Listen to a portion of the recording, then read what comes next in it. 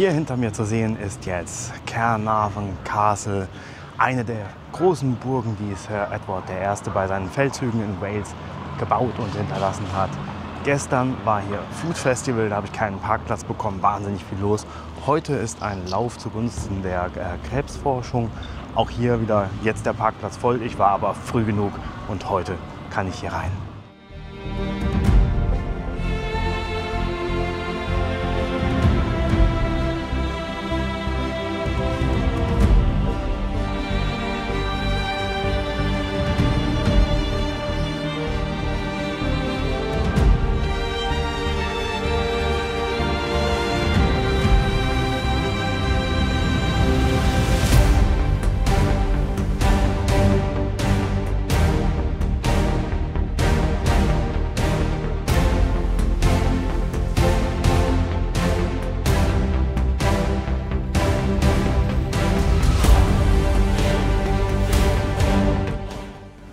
Ich habe jetzt das Innere der Burg Caernarvon betreten und das Erste, was ich hier dachte, ist, wow, das ist eine riesige Burganlage.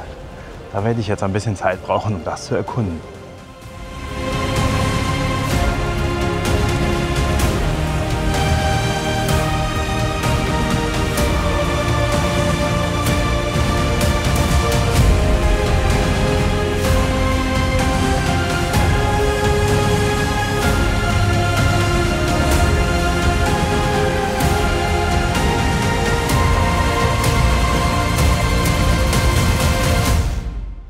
Das ist doch mal eine Burg oder auch Festung, die diesen Namen wirklich verdient hat. Wenn man bedenkt, dass das, was man heute hier sehen kann, nur ein Bruchteil von dem ist, was ursprünglich als Festung hier gestanden hat, dann ist das ganz schön beeindruckend, beängstigend. Auf jeden Fall ein Sitz, der Königin gerecht wird.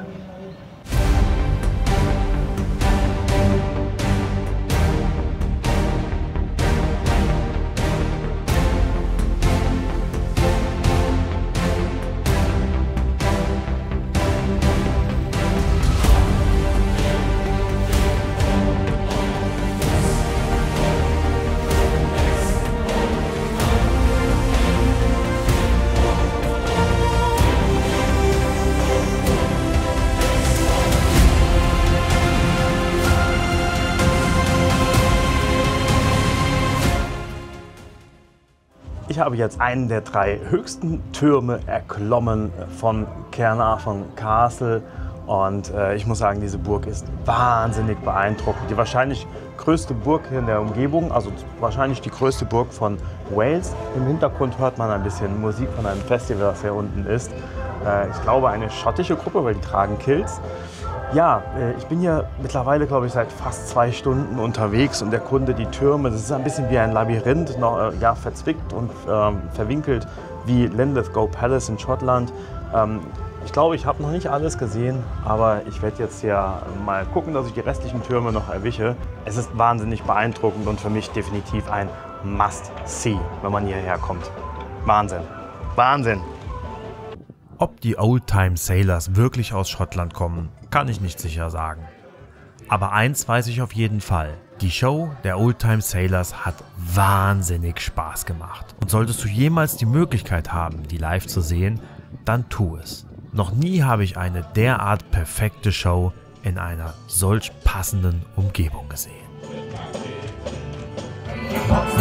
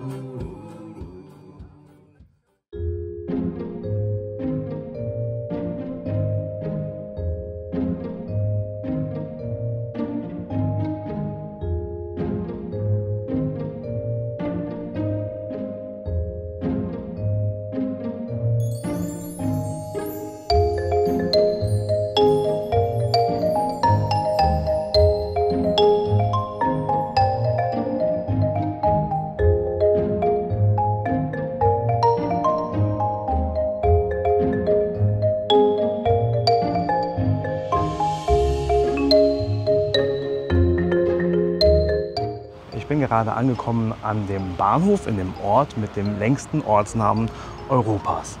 Liebe Waliser, ich habe gesagt, ich bemühe mich, ähm, die Ortsnamen korrekt auszusprechen, so gut es geht. Aber das hier geht zu weit. Aber ich probiere es trotzdem. Okay, fangen wir an. Chlan, Fair, Poch, Going, Gir, Gogere, Chwirren, Droboch, Chant, E, Silio, Go, Go, Goch. Das ist ganz schön anstrengend. Ja, liebe Menschen, äh, die des Walisischen mächtig sind, ihr könnt mich jetzt gerne korrigieren oder mir ein Sternchen geben äh, für diese Leistung. Ähm, ja, für mich die Frage natürlich, gibt es ihr was zu erleben? Und äh, da muss ich ganz ehrlich sagen, gar nichts. Also hier gibt es den Bahnhof mit dem langen Namen, hier gibt es ein paar Geschäfte drumherum, das sieht alles geschlossen aus.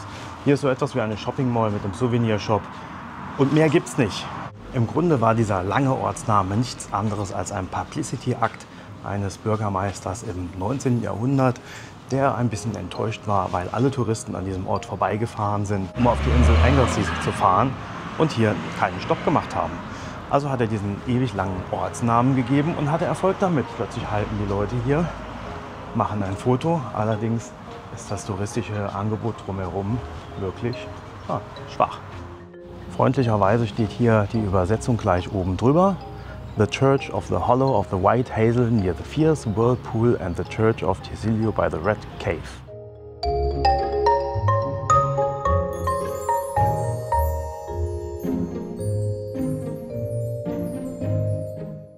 Und damit es keine Verständnisprobleme gibt, übersetze ich das jetzt schnell, muss ich aber ablesen.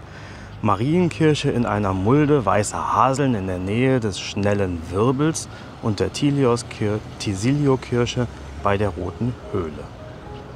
Ja, schöner Name. Ob du auch hier vorbeifährst, musst du natürlich selbst wissen, aber viel mehr als den Namen gibt es hier nicht zu sehen.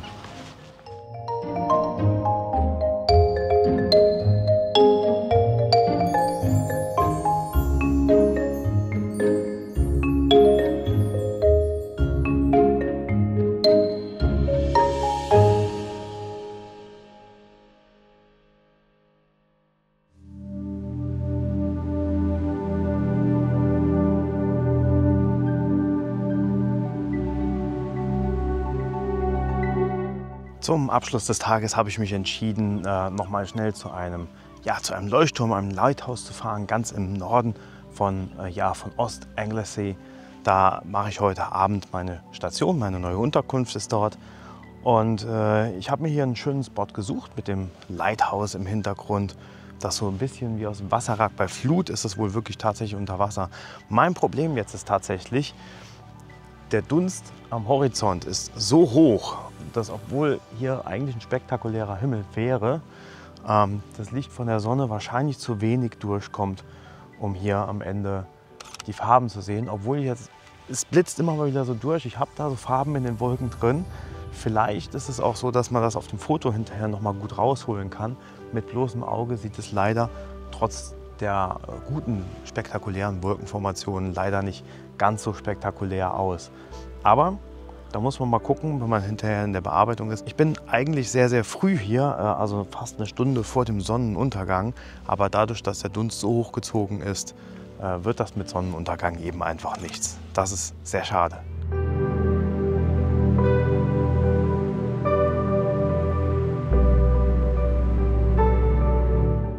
Der Grund, warum ich trotzdem noch hier verharre, ist der, dass äh, dort hinten immer wieder mal so der Himmel ein kleines bisschen aufbricht und die Sonne ein kleines bisschen durchguckt. Das äh, sorgt dafür, dass es so leicht pastellige Farben gibt und das kann natürlich hinterher dann doch ziemlich schön aussehen, auch wenn es diese krass orangenen äh, Leuchtfarben nicht gibt. Äh, das muss aber nicht heißen, dass das hinterher ein schlechtes Bild ist. Äh, deswegen probiere ich es hier trotzdem und außerdem möchte ich gerne Zeit überbrücken, denn der Himmel über mir, der ist hm, zwar nicht offen, aber nicht ganz bewölkt und heute Nacht sollen die Chancen auf Polarlichter wieder sehr, sehr groß sein. Äh, deswegen werde ich wahrscheinlich hier verharren, bis es richtig dunkel ist. Also ich muss mich jetzt mal bitterböse beschweren. Nicht nur, dass es heute, seitdem ich das erste Mal hier in Wales bin, das äh, zwei, mindestens, mindestens zwei Minuten lang geregnet hat. Jetzt zieht es auch noch im Nacken beim Sonnenuntergang. Es kühlt ein bisschen ab heute Abend. Ja, das äh, ist ja total dramatisch.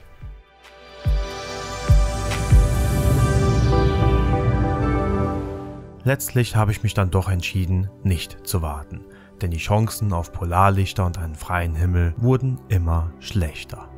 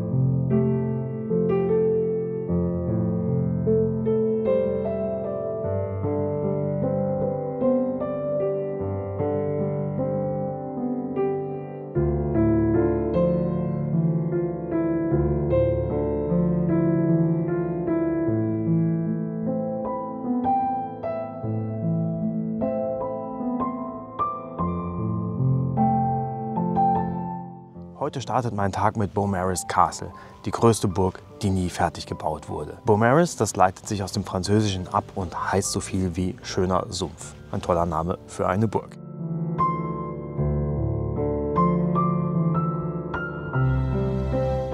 Mit dem Bau dieser Burg wollte Edward seine Herrschaft über Wales ja einzementieren, festigen.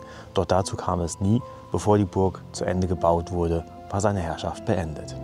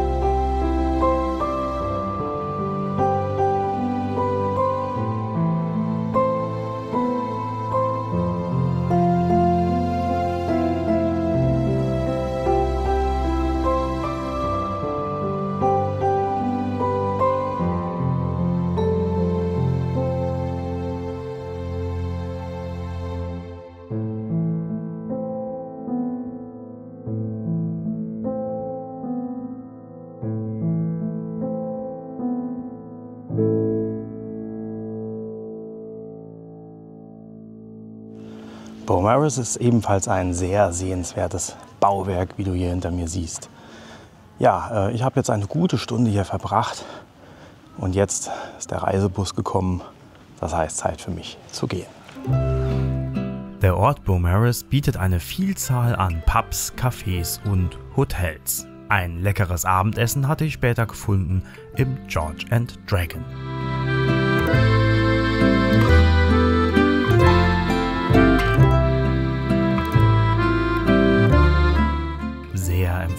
Empfehlenswert. Neben der Hauptsehenswürdigkeit, dem Beaumaris Castle, gibt es auch ein sehenswertes Pier mit einem Riesenrad.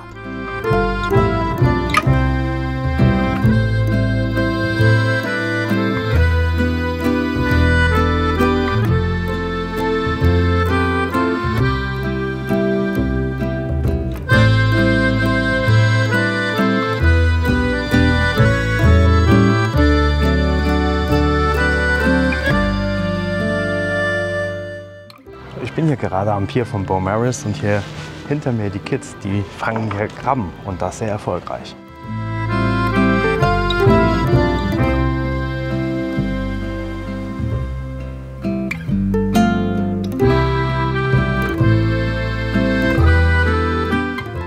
Äh, Krabbenfangen ist hier wohl etwas, was nicht nur die äh, Kids von den, ja, von den Einheimischen machen, sondern tatsächlich eine Art Touristenattraktion.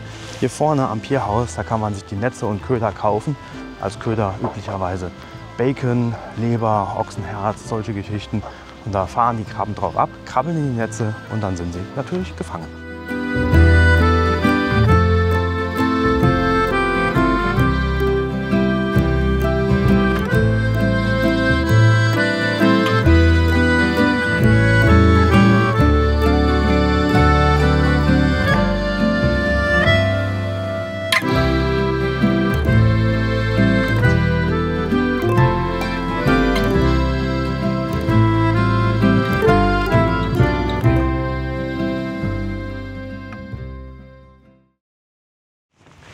Für einen kleinen Zwischenstopp habe ich mich jetzt auf das Garth Pier begeben. Das ist direkt gegenüber von dem Hotel, wo ich wohne, deswegen ist mir das aufgefallen. Äh, hier muss man 50 Pence äh, Eintritt zahlen, um das Pier zu betreten. Und dann gibt es hier an der Seite so kleine Shops. Aber ich glaube, hier ist auch eben keine Saison jetzt. Das wird später starten.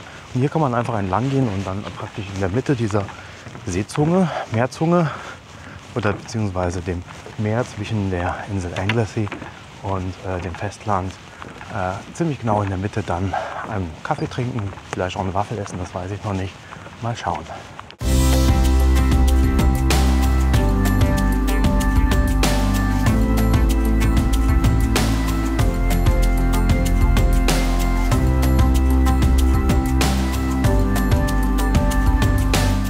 Ich bin jetzt fast am Ende des Piers angekommen.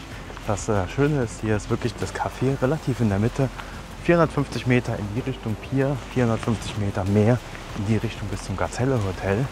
Genau in der Mitte ist dann dieses Café.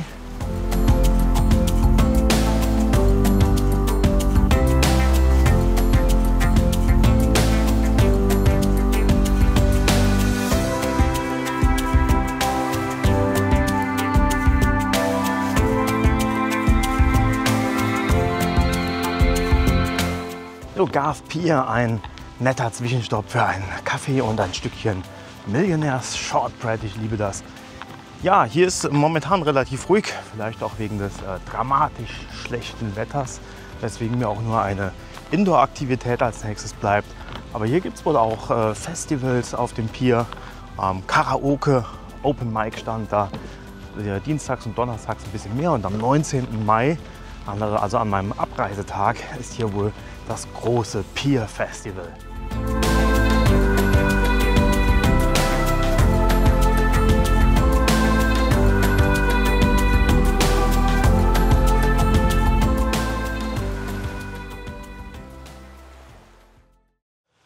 Ist doch noch ungemütlich geworden draußen. Habe ich jetzt die Klappe zu weit aufgerissen? Ähm, ich mache die Ansage kurz hier draußen. Ich bin jetzt beim National Slate Museum, also das nationale Schiefermuseum. Hier in der Gegend, wo ich jetzt gerade bin, äh, rund um Llanberis, da war früher so die, das größte Schieferabbaugebiet der Welt. Äh, und das ist schon mal sehr beeindruckend. Hier wurde auch ein berühmter Film gedreht, Willow in den 90er, nein, in den 80er Jahren, glaube ich, aus den äh, Lucas Studios, George Lucas. Und hier werde ich jetzt gleich das National Slate Museum betreten, denn bei dem Wetter ist draußen ziemlich ungemütlich.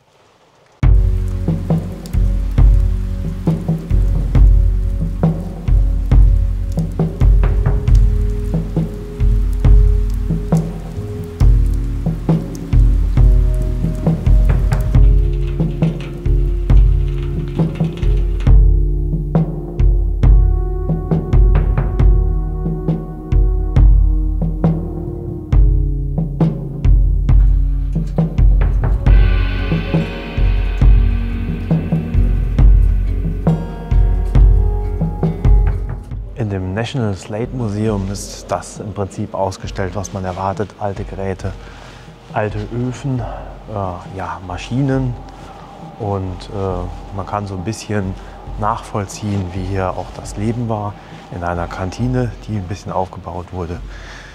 Äh, ja. Ach so, Eintritt ist kostenlos. Bis jetzt haut es mich noch nicht um. Aber warten wir mal ab, was da noch kommt.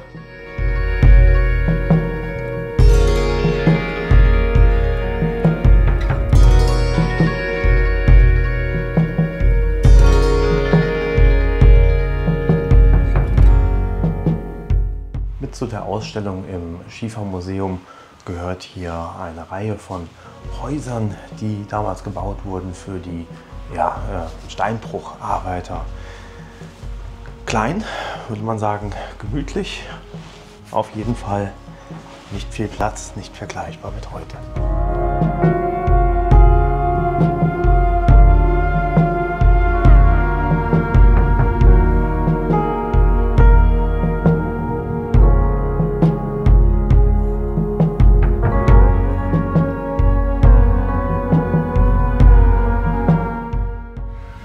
3000 Männer haben damals hier in dem Schiefersteinbruch gearbeitet.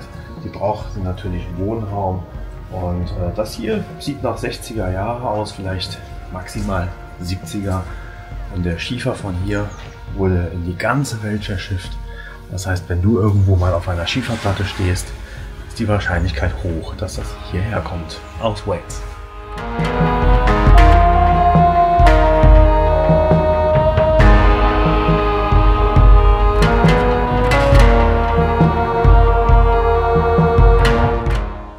Mich jetzt in einem der letzten Räume des National Slate Museum. Ähm, ich habe hier gar nicht so viel Zeit verbracht, bis ich alles gesehen hatte. Draußen ist natürlich das Wetter auch immer noch schlecht. Äh, hoffentlich ausnahmsweise. Ich hatte ja so viele Tage gutes Wetter. Diese Station kann man machen, kostet nicht viel für, für einen Parkplatz, keinen Eintritt und äh, dafür kann man ein bisschen Zeit hier verbringen und sich informieren. Es ist ein Stück Geschichte, aber für mich bei einer kürzeren Tour wäre das kein Must-See und kein Must-Do.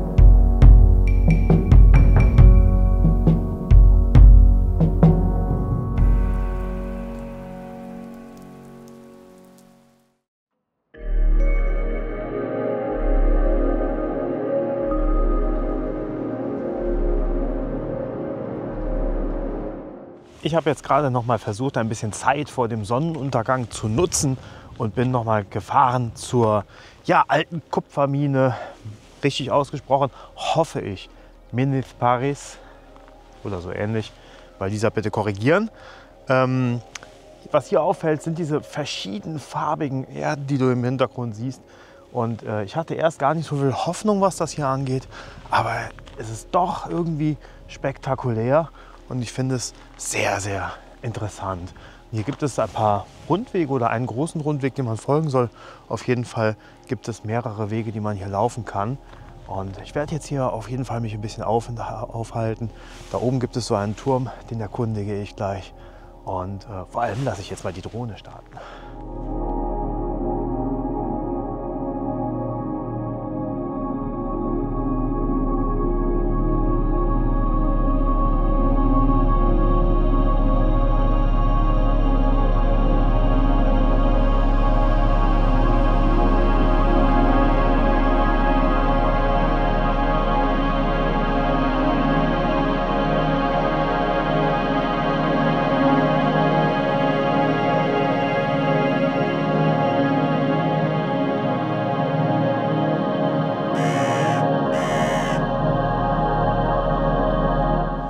Ist jetzt etwa eine halbe Stunde vor Sonnenuntergang. Und ich habe hier in dieser alten Kupfermine diesen Turm da gefunden. Der sieht schon relativ alt aus. Und da gehe ich doch jetzt mal reingucken.